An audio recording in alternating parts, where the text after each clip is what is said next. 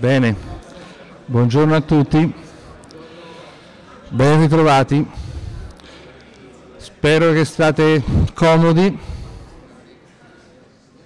rifocillati, perché oggi abbiamo da lavorare. Io per primo. Allora, mh, mm, comunicazione di servizio, oggi ci sarà l'esercitazione, se non c'è l'esercitatore la faccio io, per cui ci vediamo anche alle due e mezza all'aula 145-3, questa qui dietro, stesso piano. E, bene, altre comunicazioni, domani confermo che non c'è il professor Albertini, quindi le ore di Albertini le faccio io, domani alle 11 e mezza.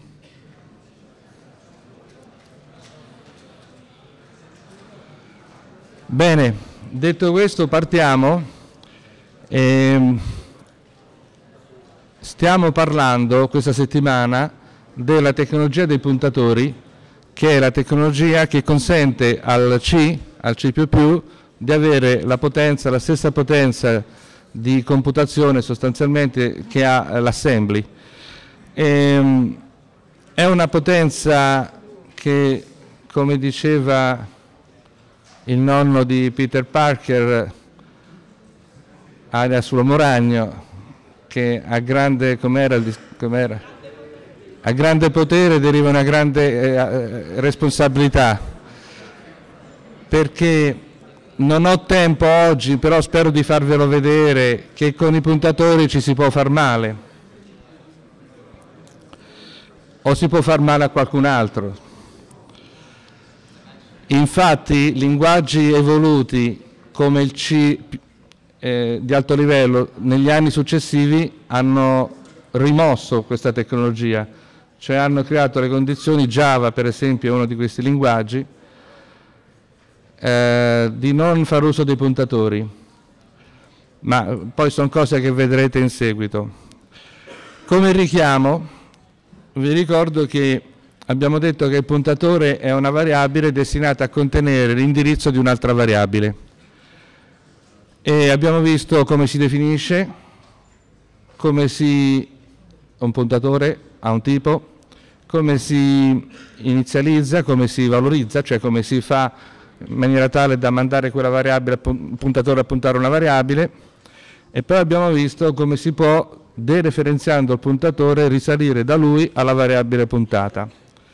Poi abbiamo visto ieri che non si capiva a cosa serviva tutto ciò, perché tanto avevamo già un nome per una certa variabile, perché puntarla con un puntatore? E vi ho detto che la, la, la, il motivo per cui sono stati inventati i puntatori era per passare, è per passare le variabili alle funzioni. Abbiamo discusso questo avanti ieri, vi ricordo brevemente, abbiamo visto una funzione scambia che non eh, riusciva a scambiare di posta i valori delle variabili, ma ridefinendo i suoi argomenti non più come interi, ma come puntatori interi e passandogli alla, alla funzione non le variabili, i nomi delle variabili, ma gli indirizzi delle variabili, eh, riuscivamo a passare per valore l'indirizzo al puntatore, dereferenziando il puntatore riuscivamo a risalire alle variabili che gli avevamo passato e cambiare effettivamente, eh, andare a toccare le variabili che gli passavamo. Che gli. Questa è la tecnologia dei puntatori ed è l'uso principale, ho detto, avanti ieri ho detto l'uso, questo è l'uso principale, oggi vedremo un altro uso molto importante dei puntatori, per questo vi chiedo di stare comodi, e, eh, perché quest'altro uso che vedremo è anche importante. Non ci saranno poi altri usi. Questo che abbiamo visto ieri, avanti ieri è quello che vedremo oggi. Ma sempre avanti ieri abbiamo detto che negli anni successivi il linguaggio C++ ha recuperato una tecnologia che c'era già negli anni precedenti, quella dei riferimenti. Sempre questo qui è un richiamo, abbiamo visto che si può passare una variabile a una funzione anche mediante quest'altro sistema, cioè quello di definire gli argomenti eh, della funzione come riferimenti, sto richiamando il concetto per cui non, non vado molto veloce, e, e questo ci consente di passare alla funzione non l'indirizzo di una variabile ma il nome stesso della variabile. A questo punto il parametro di tipo riferimento e la variabile sono sinonimi e per cui dentro la funzione si può andare a utilizzare il nome del parametro senza dereferenziarlo. Questa scrittura del codice è molto più pulita e di più facile lettura, per cui effettivamente è consigliata. E poi per concludere il richiamo Abbiamo visto in chiusura avanti ieri eh, le differenze fra eh, il passaggio di un, un, argomento per valore e il passaggio per riferimento. Quando si chiama una funzione che ha un certo parametro di, di, un certo tipo e gli si passa una variabile di quel tipo, quello che accade è che si copia il valore della variabile che, che è il parametro cosiddetto attuale al parametro formale. Viene ricopiato il valore in due diverse zone della memoria. Invece, se definiamo il parametro della funzione di tipo riferimento e gli passiamo il nome della variabile all'atto della chiamata, quello che accade è non, non già che eh, viene copiato un valore dalla variabile x a un altro, ma quello che abbiamo detto è che c'è un puntatore nascosto che si chiama A e che viene automaticamente dereferenziato quando lo si nomina questo parametro all'interno della funzione in maniera tale da, da andare a prendere, dereferenziando in maniera automatica, direttamente la variabile che gli è stata passata. Scusate se non avete capito niente perché è stato talmente concentrato sto richiamo, ma era un richiamo. Comunque ah, eh, non c'è la registrazione di ieri perché c'è stato un incidente tecnico avanti ieri, quando poi ho fatto ripartire il computer mi sono scordato di far partire il registratore e quindi in qualche maniera faremo, lo rifarò, qualcosa farò in futuro. Andiamo avanti. E va bene, poi abbiamo ehm, visto anche ieri che si possono restituire da una funzione, avanti ieri, eh, de, degli argomenti che sono dei riferimenti e dei puntatori. Uh, piccolo esercizio per vedere se i concetti sono stati assimilati Qui abbiamo due variabili, eh, scusate, due funzioni che fanno la stessa cosa, e cioè restituiscono eh, un puntatore oppure un riferimento, si distinguono per questo, la prima restituisce un puntatore, la seconda restituisce un riferimento, a che cosa? A eh, delle due variabili che gli passeremo all'atto della chiamata, mi restituisce il puntatore a quella delle due che gli passo che contiene il valore maggiore. Una, MaxP, è implementata con la tecnologia dei puntatori, l'altra, MaxR, è implementata con la tecnologia dei riferimenti. Eh, i, le cose che fanno, eh, cioè cosa fanno queste due funzioni? Esattamente la stessa cosa, quello che ho detto prima. In particolare andiamo a vedere quella quella dei puntatori, abbiamo due parametri di puntatore, si dereferenzia il primo parametro per andare a vedere che valore ha la variabile che gli passerò, si dereferenzia il secondo per vedere che valore ha la seconda che gli passerò, quindi a quel punto aprendo le variabili che gli abbiamo passato andiamo a vedere che valori hanno dentro, se la prima che gli ho passato ha un valore maggiore o uguale a quello della seconda viene restituito il puntatore alla prima, altrimenti viene restituito il puntatore alla seconda tutto coerentemente con l'intestazione della definizione. Vedete che la prima restituisce un puntatore intero, la seconda restituisce un riferimento intero. All'atto della chiamata io ho le due variabili x ed y ehm, che suppongono siano state valorizzate, adesso qui il codice non c'è, ma supponiamo di aver letto i valori dall'input. A questo punto io posso lanciare maxp passandogli correttamente gli indirizzi delle variabili x ed y correttamente perché questa è implementata con la tecnologia dei puntatori si aspetta che io all'atto della chiamata gli passo l'indirizzo eh, lei maxp restituirà un puntatore. E quindi se io poi voglio andare a prendere la variabile che gli ho passato per farci qualche cosa per esempio per metterla a zero devo dereferenziare il puntatore che la, la chiamata maxp mi, mi restituisce.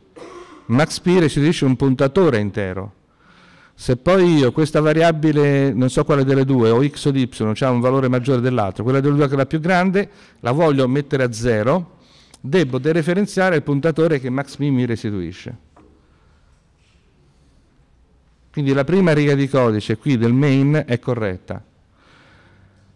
La seconda non è corretta perché io, è corretta la chiamata, lei MaxP mi restituisce un puntatore alla maggiore delle due, io poi questo puntatore non lo posso mettere a zero, eh, perché 0 è un valore intero eh, e qui in questa, in questa condizione il compilatore non me l'accetta questa operazione. Provatela a fare e vedrete questo qui. Eh, quello che si può fare pure è ovviamente chiamare la stessa funzione che mi restituirà un puntatore, dereferenziarla e poi il valore che eh, lei mi restituisce assegnarlo alla y. Stessa cosa la posso fare con quest'altra chiamata qui, ma vedete che l'ultima chiamata che sto indicando adesso è più semplice da implementarsi e da capirsi. Questa cosa la vediamo un'altra volta perché è noiosa. Eh, sempre en passant esistono dei puntatori che, punt che sono puntatori a un tipo che non esiste si chiamano puntatori a void, vengono usati molto e eh, servono per definire dei puntatori che poi possono essere come dei camaleonti, eh, adattarsi a puntare un char, a puntare un int, a puntare un float, a seconda dell'uso che se ne fa. Guardiamo questo codice che illustra a cosa serve il puntatore a void, ma lo vediamo direttamente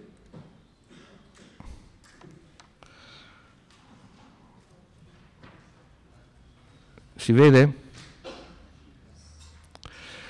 Allora, qui abbiamo una funzione incrementa eh, che è una procedura perché non restituisce niente che prende in input due parametri. Il secondo è un intero.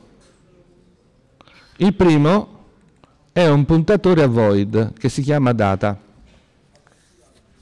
Puntatore a void vuol dire una specie di jolly, può essere un puntatore a qualunque cosa, a seconda di quando lo chiamerò, eh, che cosa gli passerò. E questa qui che cosa fa? Fa un controllo, va a vedere qual è la dimensione di questo intero, va a vedere se per esempio come dimensione ha la dimensione del tipo char. Ora, in tutte le architetture la dimensione del tipo char è 1 per cui scrivere size of char è un po'... size of mi restituisce la dimensione del tipo, è un operatore di cui abbiamo parlato un paio di mesi fa forse. Se io gli ho passato qui 1, allora parte questo if. E che cosa fa? E va a prendere il puntatore che gli ho passato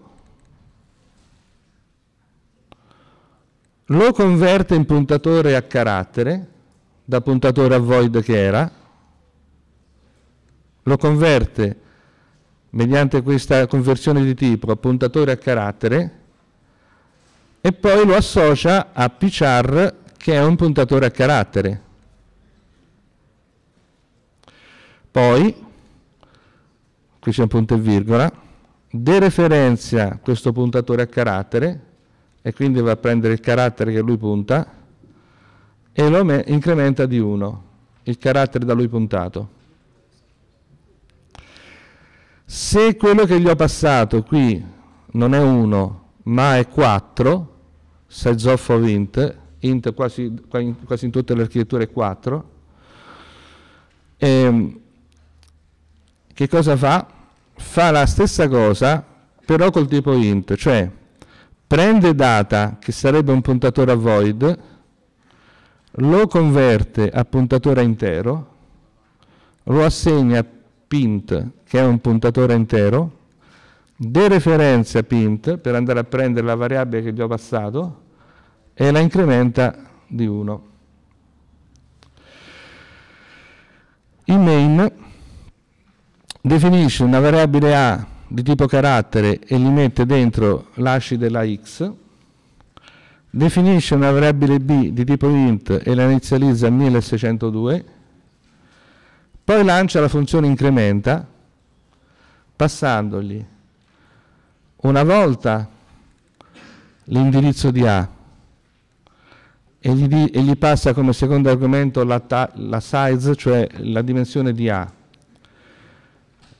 La chiama una seconda volta passando l'indirizzo di B e dandogli come secondo argomento la dimensione di B che è 4, perché B è un intero.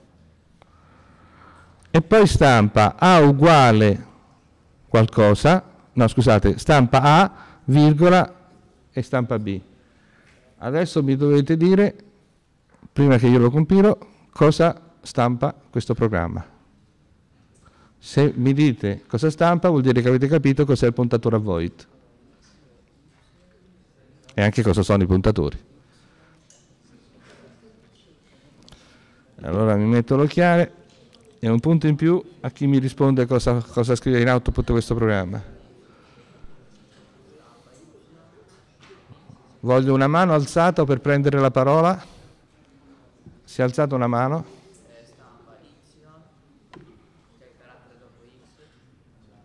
E poi? Bene, nome e cognome, un punto in più.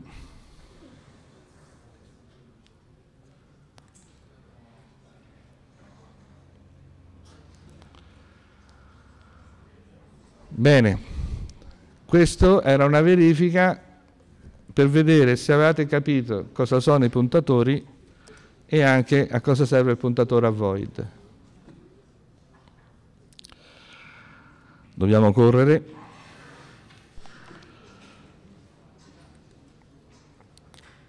L'ultima cosa che voglio dire sui puntatori, e poi passeremo al nuovo argomento di oggi, che, saranno, che sono i vettori.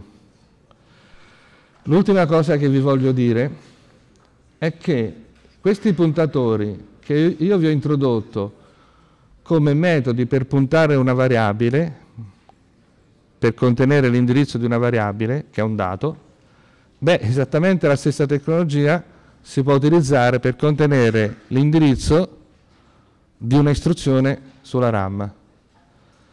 In particolare, per esempio, l'indirizzo della prima istruzione di una procedura, di una funzione. Perché se così faccio e si fa e si fa, io sto dicendo che quel puntatore mi sta puntando non un dato, ma un sottoprogramma, una funzione. Cioè sto dicendo che esistono anche i puntatori a funzione e che sono usatissimi nella programmazione evoluta. Ecco, questo è un corso, ragazzi, del primo anno, ma le nozioni che sto dando, alcune di queste qui, sono nozioni che usano i programmatori eh, profession professionali proprio. Eh. Il, il, il puntatore a funzione è usatissimo. Di che si tratta? Si tratta di questo. Come ho detto poco fa, io posso definire un puntatore non a una variabile, ma a una funzione, nel senso che lui mi punterà la prima istruzione di una funzione. Dopodiché, dereferenziandolo, io lo posso utilizzare per far partire una funzione. Come si definisce innanzitutto un puntatore a funzione? Si definisce così, e cioè si definisce come se fosse la, il prototipo di una funzione, perché vedete che avete qui il nome di una funzione, il tipo che restituirebbe questa funzione e anche gli, gli argomenti che prenderebbe questa funzione in input. Somiglia a un prototipo di funzione, solo che il nome della funzione, che qui ho scritto puntatore funzione, viene messo innanzitutto con l'asterisco prima e poi asterisco il nome della funzione tutto fra parentesi tonde. Quello lì, che, quello che vedete qui, sarebbe un puntatore a funzione. Faccio un esempio qui sotto. Supponiamo di avere una certa funzione f che restituisce un intero e che prende in input un intero e che ci fa qualche cosa, una funzione generica. Ok? Mi seguite? Dite di sì? Bravi. Questa ci sta già. Adesso io mi definisco un puntatore a funzione di quel tipo, cioè una funzione che prende un int e restituisce un int e lo faccio così. Chiamo questo puntatore, lo chiamo pf, ci metto l'asterisco prima, metto tutto fra parentesi tonde e poi dico che prenderà, che lui sarà il puntatore a una funzione che prenderà in input un intero e restituirà in output un intero. Quindi questo PF a questo punto è pronto per eventualmente puntare una funzione come appena detto, cioè di quel tipo, cioè che prende un intero e restituisce un intero. E come si fa a farlo? Basta che io uso l'onnipresente operatore di assegnamento e scrivo pf uguale f. Il risultato di questa istruzione di assegnamento è quello di prendere l'indirizzo della prima istruzione della funzione f che sta dentro f, il nome di una funzione altro non è che l'indirizzo alla sua prima istruzione, e lo si dà come valore a pf. Cosa succede se adesso nel, nel codice successivo qualcuno dereferenzia pf? Parte la funzione. E facciamolo l'esempio. L'esempio che stiamo per vedere è tosto.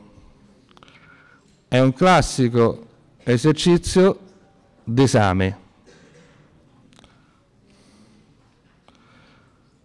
Io ve lo faccio vedere.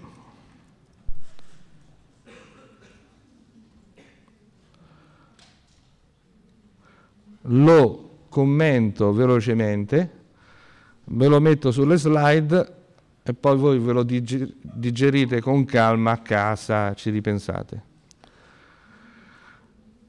Allora, stiamo parlando di puntatori a funzione, stiamo vedendo a cosa possono servire i puntatori a funzione.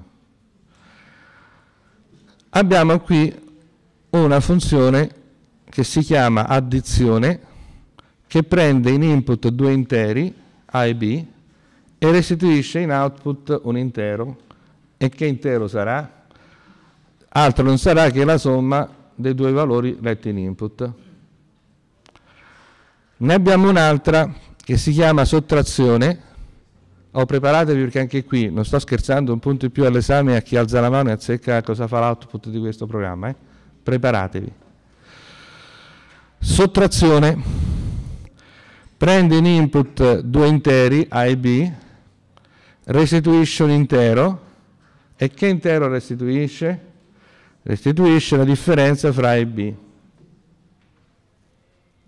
Banale.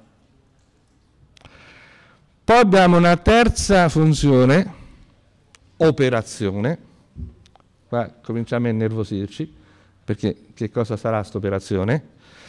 Che prende due interi e poi prende, che prende? È complicato, eh? Però adesso, adesso è complicato. Fino adesso è stato tutto banalissimo. Mo di colpo diventa complicato. Prende un terzo parametro. Che, che tipo è questo terzo parametro? È un puntatore a cosa? A funzione. A funzione che prende in input due interi e restituisce un intero in output e chiaramente è predisposto questo puntatore a puntare a una delle altre due prima. C'è la stessa struttura. Quindi io sto cominciando a capire cosa vuole fare questo programmatore. Non mi è ancora chiaro, però comincia a intuire. Vuole giocare su questo. Dentro la funzione operazione mi definisce una variabile locale g di tipo intero che la userà come variabile d'appoggio, sto pensando io, eh? sto leggendo dall'alto verso il basso, mi viene in mente che la usa come variabile d'appoggio, non posso sbagliare, ma... Poi che cosa fa? Dereferenzia il puntatore che io gli ho passato passandogli come argomento x ed y, che gli altri due che ha preso in input, dereferenziando un puntatore a funzione, che succede? Parte la funzione che quel, quel puntatore punta, quella partirà, fa tra tra tra tra tra tra tra tra, lavora, restituisce un valore in output, questo valore in output viene associato a G e la funzione operazione mi restituisce G. Restituisce un intero, G è un intero, tutto corretto. Il compilatore va bene. Finite le funzioni. Il main. Il main mi definisce due interi m ed n e, e mo comincia a fare delle cose.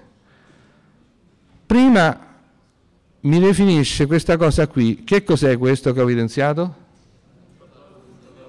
È un puntatore a funzione. Come lo chiama? Meno. E perché lo chiama meno? Perché lo associa subito alla funzione sottrazione. Quindi meno sarà un puntatore alla funzione sottrazione. Non sarà, è. Da questo momento quello è un puntatore alla funzione sottrazione. Poi va oltre, prende m e come valore gli dà il risultato della funzione operazione a cui gli passa 7, 5 e il nome della funzione addizione. Si sta cominciando a intricare il discorso però stiamo andando pianino, per cui se vi sta girando lo stomaco, tranquilli che poi passa. Poi si lancia operazione, gli passa 20 al primo argomento, M, che il risultato di quello di prima, il secondo argomento è meno. Ecco, adesso mi metto gli occhiali, un minuto di tempo Voglio sapere se qualcuno è in grado di eh, capire cosa stampa con l'ultima istruzione questa... Allora, eh, no, veramente se ne sono alzate tante, per cui eh, devo fare a caso. Allora, io me, ho visto uno qua che è per primo, per cui... E, con gli occhiali. Eh, però il punto lo dividete in due perché eravate vicini, quindi vi dividete il punto, mezzo punto e mezzo punto, ok? Qualcuno dissente da quello che è stato detto? Lo, lo dico per tutti, è stato detto che stampa 8. Qualcuno dissente? Se dissentite non perdete punti per questo. Se ci avete azzeccato ne guadagnate due. Qualcuno dissente? Vediamo.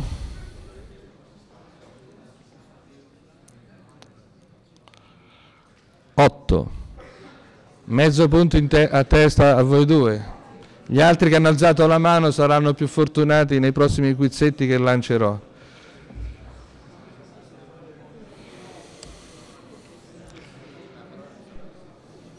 Allora,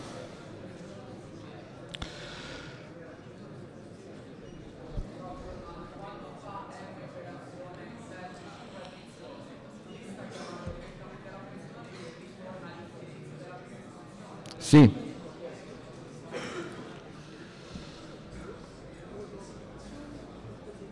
Qui c'è, un esempio di chiamata diretta, un esempio di chiamata indiretta tramite un'altra funzione. Quindi effettivamente è stato un esempio complesso, però avete appena svolto un, un classico esercizio di teoria.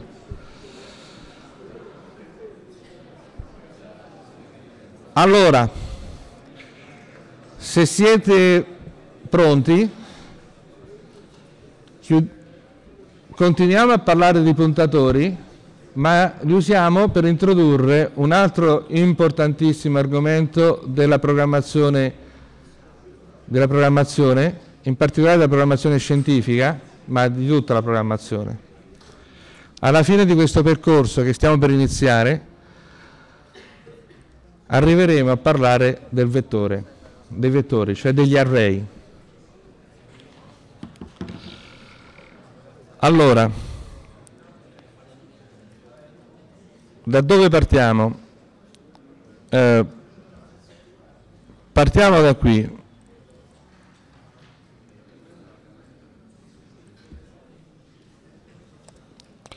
Allora, supponiamo, cancello tutto.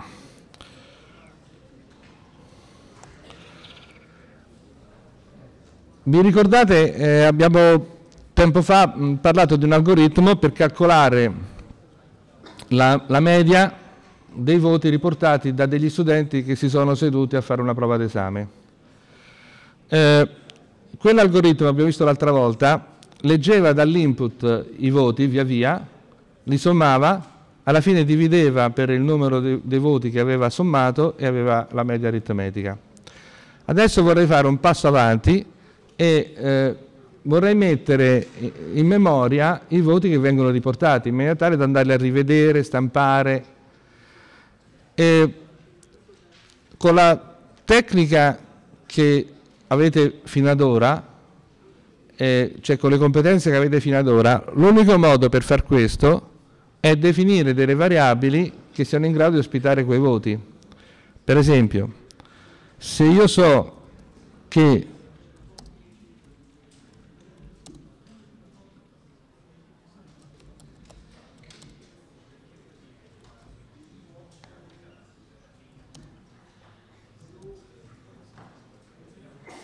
Boh, datemi un altro nome corto. Eh? Allora, supponiamo che io so che questi sono i nomi degli studenti che si sono messi a fare l'esame, io posso pensare di allocare spazio in memoria per ospitare i voti che prenderanno, supponiamo tipo intero.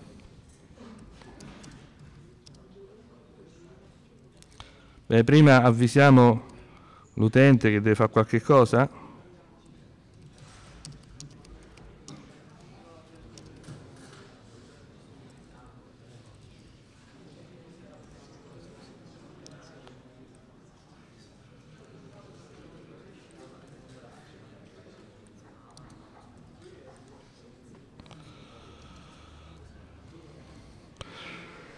Dammi i voti di queste persone.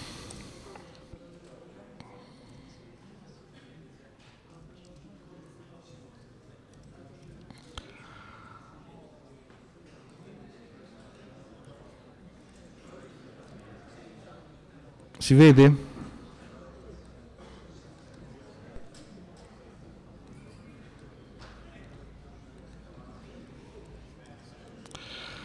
Così li leggo e li vado a mettere sulle variabili. Seguite? Adesso dovrei sommarli. E quindi come faccio a sommarli? Devo farmi una, una somma voti un,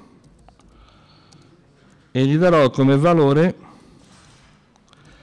la somma di questi voti.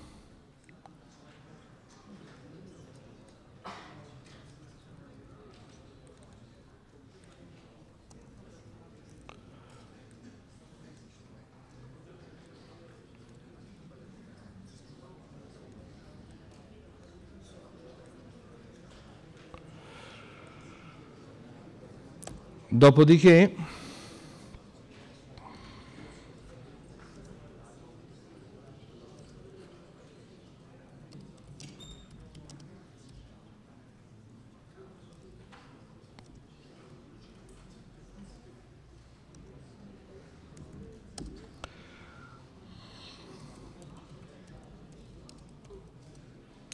supponiamo che io so, l'ho contato che sono 6, mettiamo diviso 6. Funziona questo?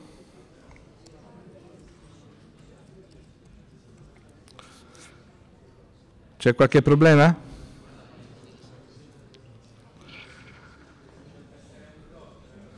Allora, siccome somma voti è int, se lo vado a dividere per 6 che è pure un int, mi farà la divisione intera. E quindi per poter avere Per poter avere il risultato eh, con la parte frazionaria devo convertire in float. Allora io provo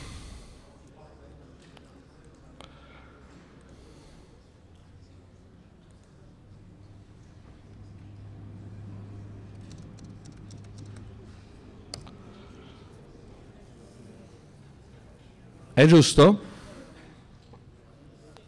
È giusto. Bene, adesso il problema è questo qui. Se io non so i nomi di questi ragazzi, come faccio a fare questo programma? Vabbè, questa è, una, è, è banale. Eh, un po' meno banale è, se io non so quanti sono i ragazzi che si mettono a sedere, come faccio a fare esattamente la stessa cosa? Se, la domanda la meno stupida delle tre, se i ragazzi sono, invece che 6, sono 1223, che faccio? Alloco in memoria 1223 variabili, ciascuna con un nome diverso? come ho fatto adesso? Beh, se non fossero stati inventati i puntatori, questo è quello che avrei dovuto fare.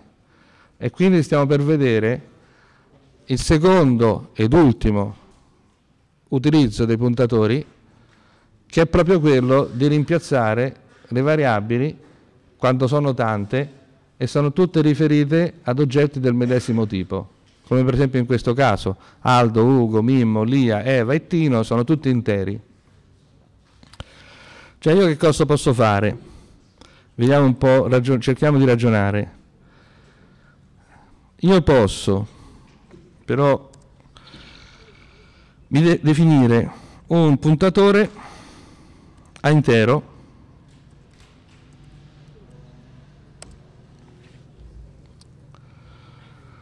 Si vede?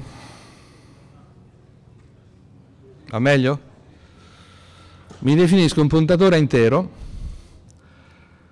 e poi lo mando a puntare una di quelle. Come si fa? Gli devo dare l'indirizzo di una di loro. La prima.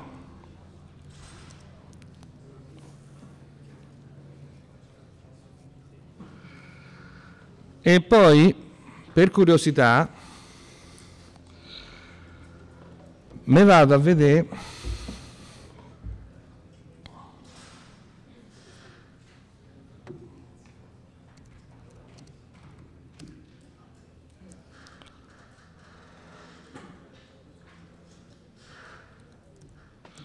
perché siccome non ci credo molto ai puntatori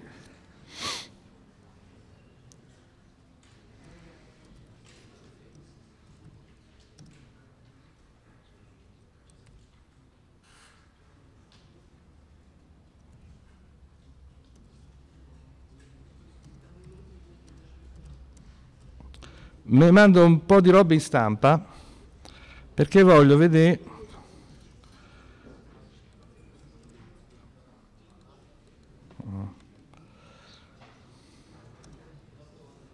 eh, perché scusate se è impiantato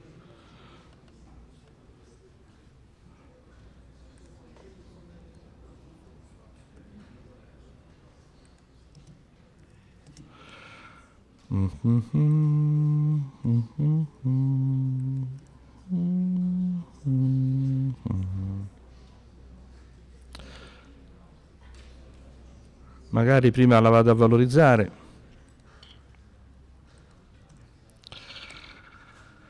Allora, leggo sempre i, i, i, nomi, eh, i, valori, li metto nelle variabili, poi mi definisco un puntatore alla prima di loro e poi mando queste istruzioni stampa per vedere cosa sta puntando veramente e il valore di cosa sta puntando. Cioè vado a vedere l'indirizzo della variabile Aldo, poi vado a vedere il valore di voti, voti è un puntatore, poi vado a vedere cosa sta puntando voti Tanto vediamo se compila.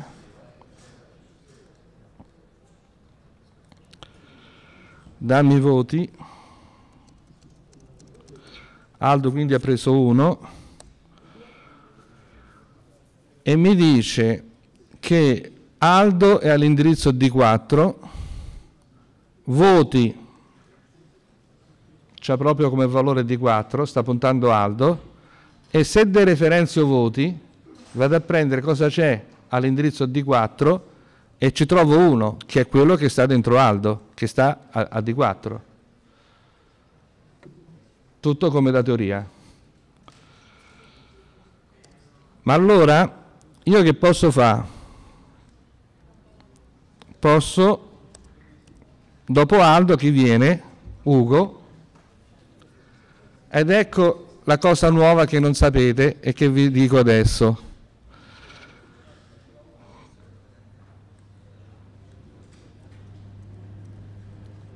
Se io prendo un puntatore a intero, lo incremento di 1,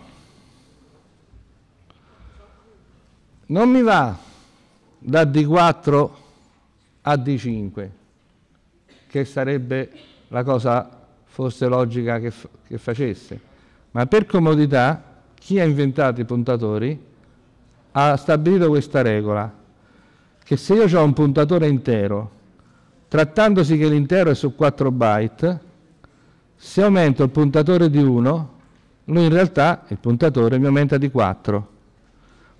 Perché?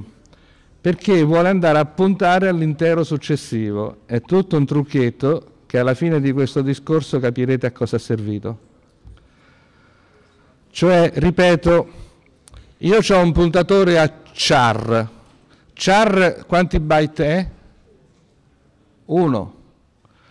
Puntatore a char. Se io incremento il valore del puntatore di 1, il valore di quel puntatore proprio di 1 aumenta, perché il tipo da lui puntato ha dimensione 1. Se invece il puntatore punta un tipo come int che ha dimensione 4, se incremento di 1 il puntatore, il puntatore mi aumenta di 4.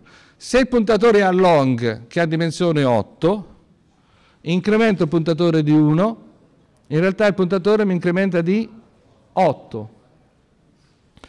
Cioè eh, il puntatore a un certo tipo si incrementa o si diminuisce a colpi di tot, dove tot è la dimensione del tipo puntato.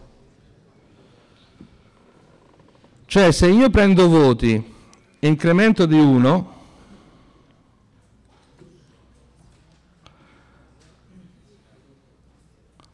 Vediamo cosa succede.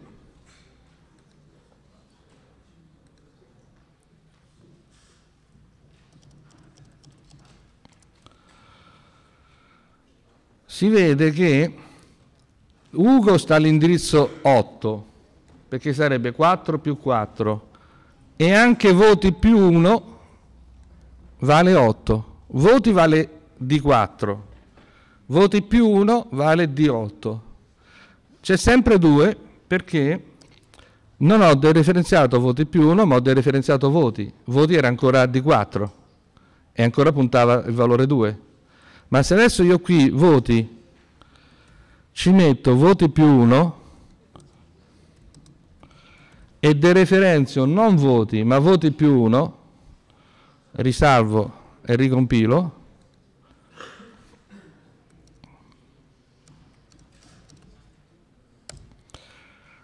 Ecco che voti mi punta quello che c'è dentro Aldo, che è 3. Voti più 1 mi punta quello che c'è dentro Ugo, che è 4. Vedete, Aldo aveva preso 3, Ugo aveva preso 4.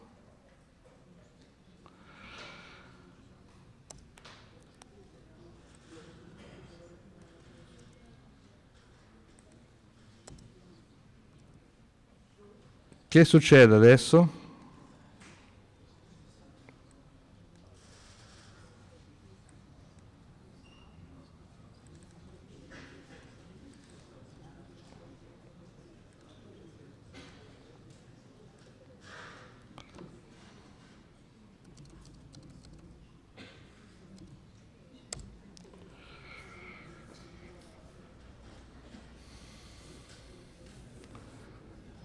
Allora, cosa possiamo pensare di fare? Possiamo pensare di fare questo. A questo punto abbiamo capito, Aldo non ci interessa più. Non ci interessa Ugo,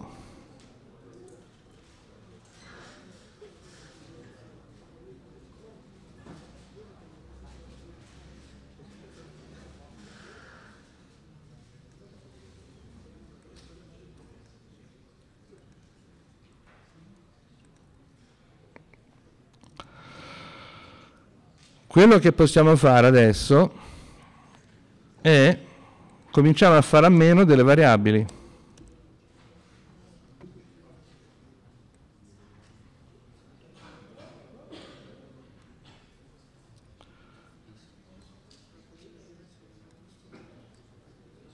Oh, questa voti in pratica sarebbe voti più,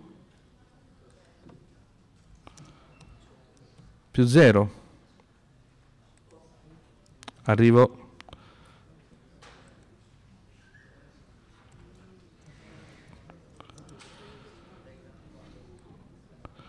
Qualcuno mi ha chiamato?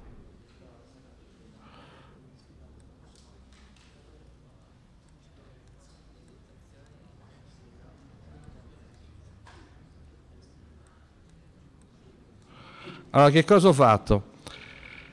E mi sono andato a stampare l'indirizzo voti più 0, spazio, e poi ciò che voti più 0 sta puntando, il valore puntato. Salvo, ricompilo.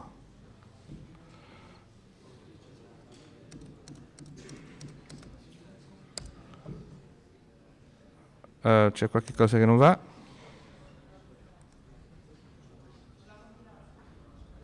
non l'ha compilato.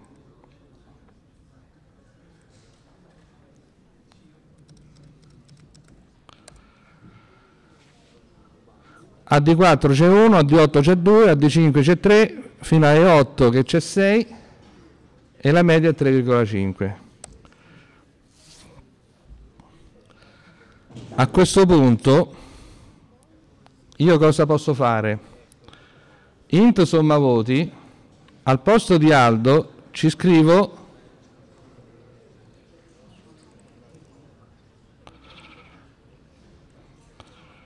perché voti più 0? Perché voti, che sarebbe voti più 0, sta puntando Aldo. Ovviamente ci vuole, ho sbagliato, ci vuole l'asterisco perché devo andare a prendere il valore che c'è dentro Aldo e non Aldo.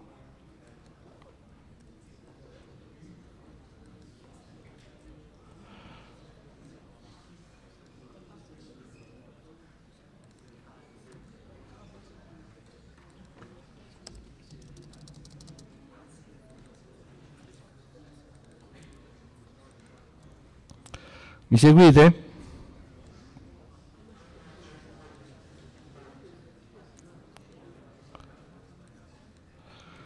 Cioè sto seguendo l'indicazione che mi avete dato voi quando avete detto che si può con i puntatori fare a meno delle variabili, di nominare le variabili. Ancora non sono arrivato, eh? Compilo.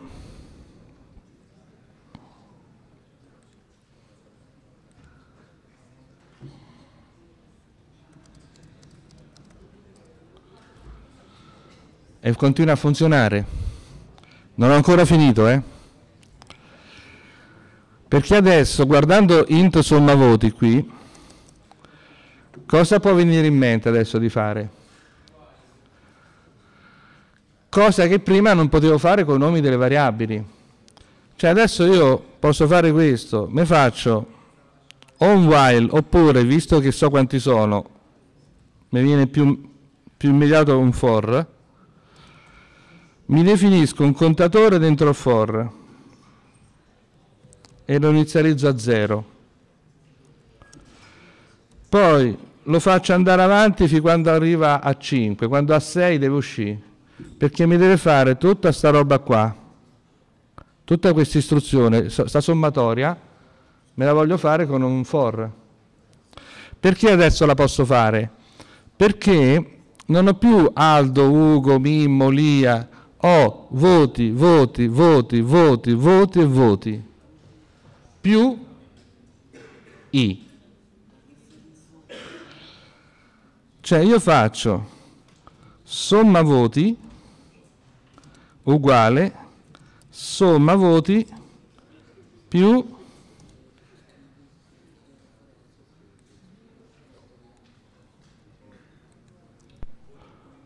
voti cioè eh, asterisco, voti più i, cioè dereferenza voti più i, punto e virgola, Chiaramente tutto questo somma voti qua su non serve più,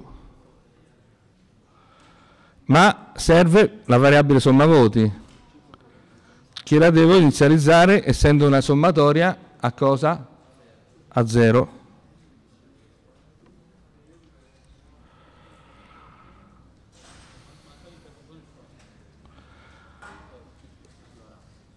E manca l'incremento del for.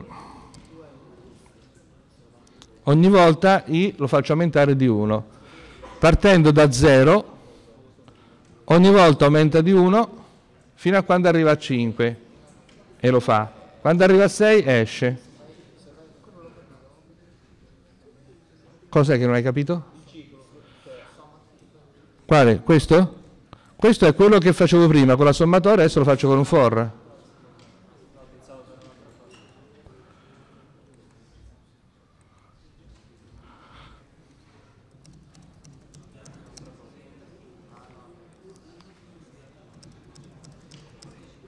Ah!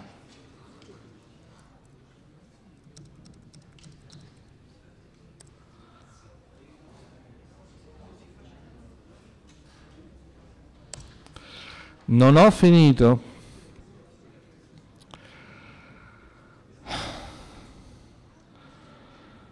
Allora, tutta questa roba abbiamo capito che non ci serve più?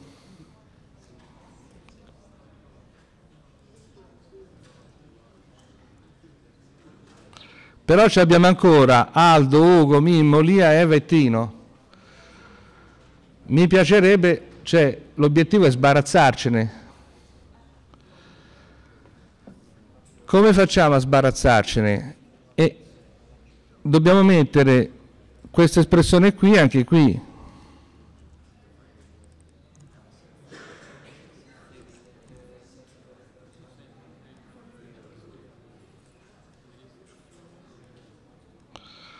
Più 1, poi Mimmo sarà a voti più 2, Lia sarà a voti più 3 e così via.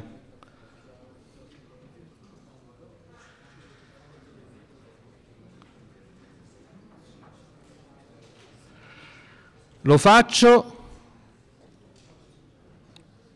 o mi potete dire che c'è un modo migliore per fare questa operazione? Famo un altro for e famo un altro for. Pigliamo sto for, lo portiamo qua, no? A questo punto bisogna che lo portiamo qua, perché usiamo la variabile voti che è inizializzata da Aldo, il puntatore voti che prende l'indirizzo di Aldo e quindi prima lo dobbiamo mettere lì. E poi che facciamo? Invece che fare la somma dei voti, facciamo cin che va a mettere il valore dentro che cosa? Dentro la variabile puntata dal puntatore voti più i. All'inizio sarà i0, quindi sarà il puntatore voti. E voti che sta puntando, sempre Aldo. Quando i uguale 1, voti punterà Ugo, quando i uguale 2 punterà Mimmo, per cui con questo ciclo io uso CIN per andare a mettere i voti dentro Aldo, Ugo, Mimmo, Lia, e Tino.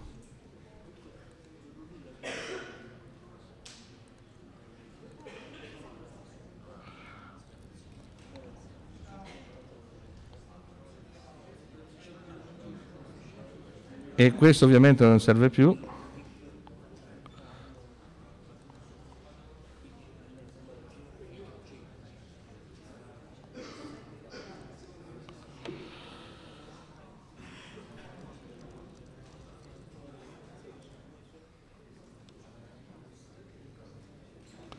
Stiamo quasi arrivando alla fine.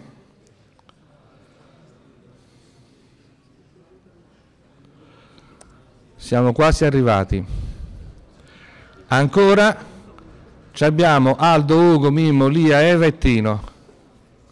E più abbiamo Aldo che inizializza voti.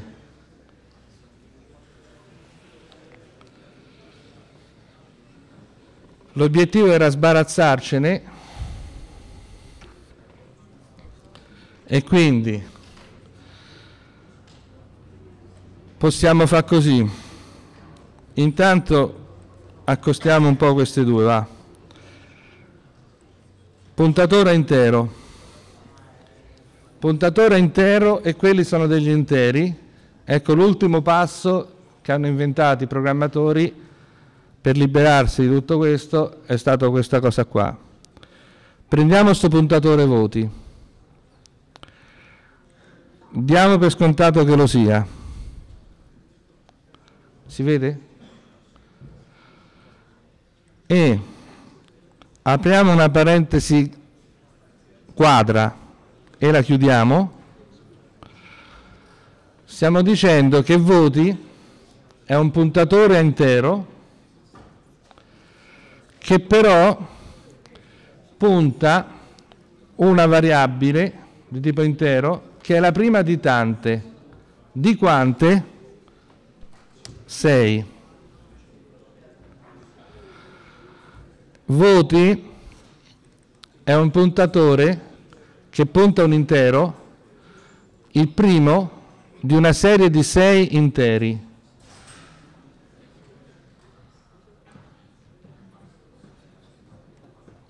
e Aldo, Tino, Ugo e amici vari li mandiamo a quel paese.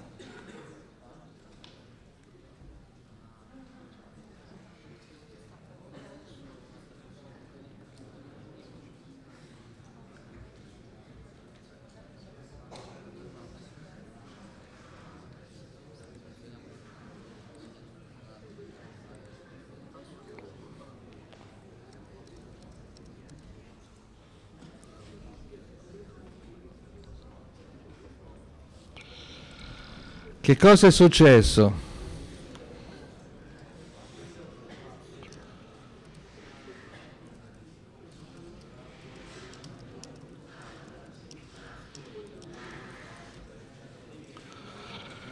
Al posto delle sei variabili tipo intero ho definito un vettore di sei interi. Il nome di un vettore è il nome del vettore è il puntatore al primo elemento di questi sei. Per cui se io scrivo voti più 0, sto intendendo il puntatore al primo di quei sei. Se lo dereferenzio, vado a prendere il primo di quei sei. Voti più 1 punta il secondo di quei sei. Se lo dereferenzio, prendo il secondo di quei sei. E così via. Questa notazione che avete visto qui è la notazione dei vettori, in inglese array, e a questo punto è tanto carina questa, questa notazione che la si, la si usa al posto dei vettori, dei puntatori. E cioè andiamo nei due for che abbiamo appena scritto e li modifichiamo. E invece che scrivere questa roba qua, che è un po' antipatica, al posto di questa scriviamo, un attimo che la cancello, scriviamo voti, aperta parentesi graffa, eh, quadra, i, chiusa parentesi quadra. Questo qui, voti con i dentro parentesi quadre, rimpiazza tutto questo. È la stessa cosa. Cioè a livello macchina è la stessa cosa, solo che indubbiamente questa è più carina.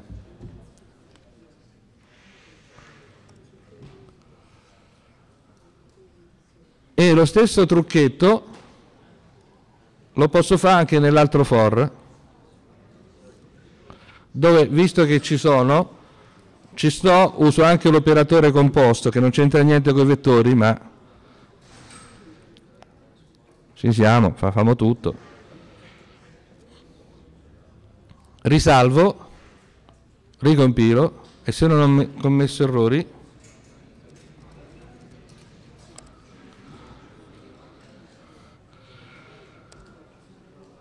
quello che state vedendo adesso è la tecnologia dei vettori, che in realtà è tutta una farsa perché il percorso che abbiamo seguito dovrebbe rendervi evidente il fatto che i vettori non esistono.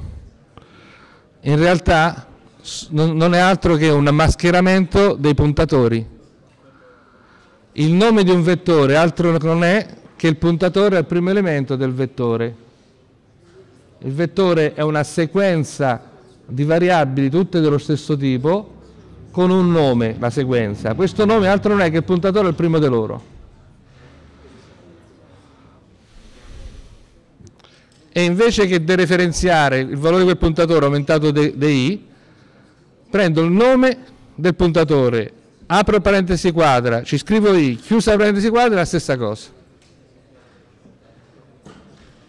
Non è simile, è la stessa cosa, a livello macchina è la stessa cosa. Quindi a questo punto non ho più i nomi delle variabili, sono scomparse, ecco a cosa servono i vettori, cioè a far scomparire i nomi delle variabili, ma in realtà i vettori stessi non esistono. Se vi hanno detto che esistono i vettori, vi hanno detto una balla, è tutto mas un mascheramento, quello che esiste è il puntatore, il puntatore esiste.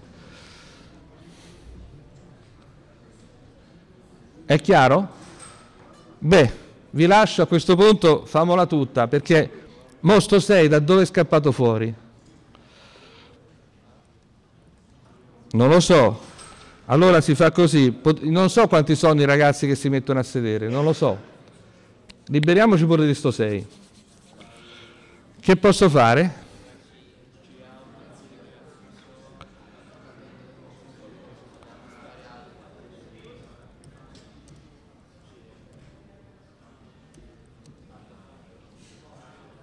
Quanti saranno gli studenti al MAS? Quanti siete? Voi siete 230.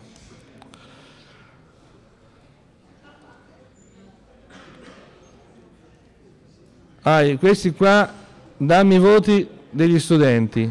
No, dimmi quanti sono gli studenti.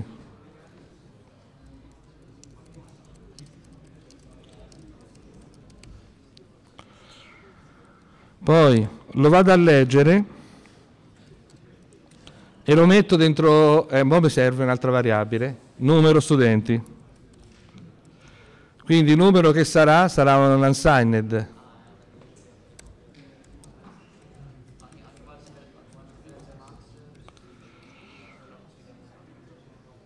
Eh? Oh, a che mi serve sto max? Max mi serve per stabilire quant'è la dimensione del vettore che devo predisporre per ospitare tutti gli studenti qualora venissero tutti. Max.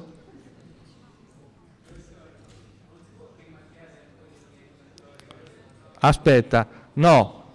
Eh, il vettore quando lo allochi devi dire quanto è grande perché il compilatore deve riservare spazio per tutte quelle variabili che eventualmente saranno valorizzate, ma lo deve sapere prima.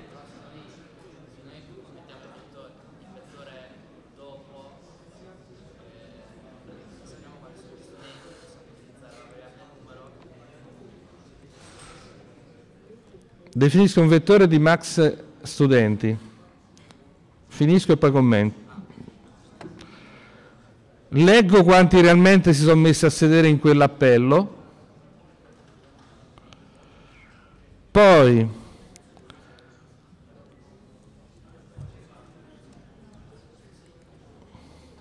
mi fermo al numero di quelli che si sono seduti e gli altri rimarranno non utilizzati gli altri elementi del vettore. Però questo lo posso fare se il numero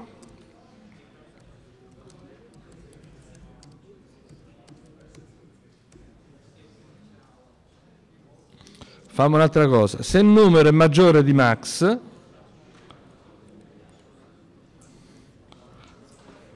ho finito eh? Return 0, esci. Cioè, se numero è troppo, c'è qualcuno che sta, no, no, non c'entra dentro il vettore, cosa succederebbe se non mettessi questo controllo, lo vedremo nei, nei prossimi giorni, e state anche per vedere in questo momento appunto uno dei più grossi problemi del C.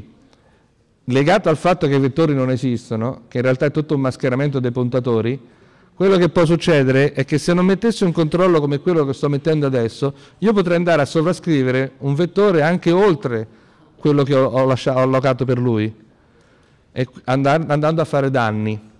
Il tipo di danno dipende da cosa c'è dopo. Io adesso metto questo in maniera tale che se si è seduto un numero di ragazzi troppo grosso, esco dal programma e non fa niente.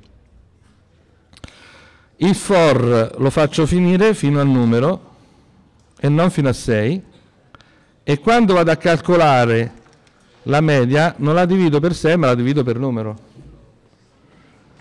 Così facendo mi sono totalmente reso indipendente dal numero degli studenti. A questo punto credo di aver finito, se non ho commesso errori. Salvo, eh? Un po' più forte, scusa? Cosa manca?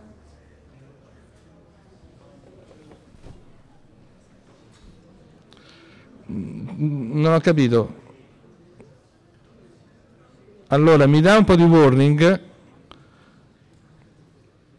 Oh, vabbè, eh, facciamo subito. Ok, adesso è andata. Dimmi quanti sono gli studenti. Quanti sono? Sette. Adesso si aspetta che do i voti. 30. 30, 30, 30, 30, 30, 30, la media è 30. Bene ragazzi, avete visto cosa sono i vettori, cioè cosa non sono perché non esistono, ma avete capito il secondo e ultimo utilizzo dei puntatori, quello per implementare i vettori. A cosa servirebbero i vettori se esistessero? A non utilizzare nomi per le variabili dello stesso tipo e a poter allocare un numero indefinito di valori tutti dello stesso tipo in una medesima struttura dati. Bene, ci vediamo alle due e mezza per l'esercitazione.